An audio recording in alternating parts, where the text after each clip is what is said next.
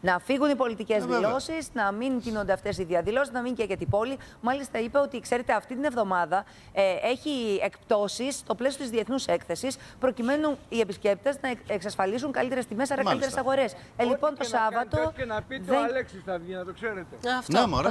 Αυτό λέμε κι εμείς το ίδιο. Θεσσαλονικιά που κάνει την πόρτα του. Δεν διαφωνούμε. Το καταγράφουμε κι εμείς.